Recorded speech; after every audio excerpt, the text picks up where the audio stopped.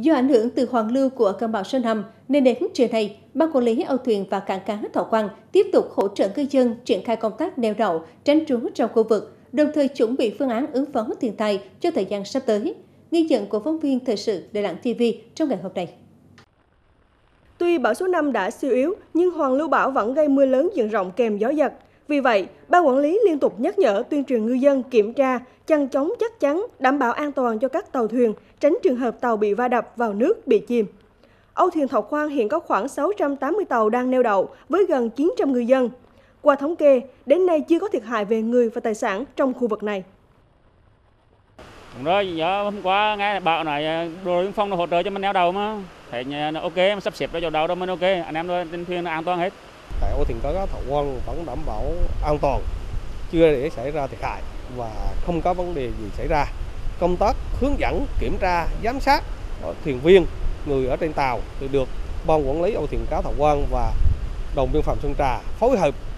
giám sát chặt chẽ, không để thuyền viên lây bờ cũng như là không để di chuyển lộn xộn qua lại giữa các phương tiện nhằm đảm bảo cái công tác phòng chống dịch Covid-19. Do chỉ mới bước vào mùa mưa bão, nên Ban Quản lý Âu thuyền và Cảng cá Thọ Quang tiếp tục xây dựng các phương án phòng chống thiên tai tùy theo mức độ, đồng thời chủ động phương tiện, nhân vật lực để kịp thời ứng phó cho các đợt bão lũ tiếp theo.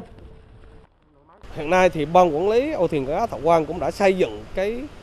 kịch bản cũng như cái phương án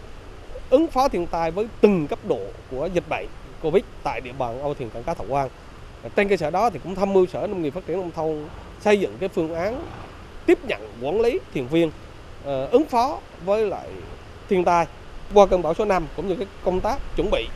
uh, của chúng tôi thì thấy là cơ bản là cái những cái kịch bản rồi cái phương án ứng phó uh, thiên tai gắn với cái công tác đảm bảo an toàn phòng chống dịch thì cũng đã đảm bảo phù hợp với lại cái tình hình thực tế.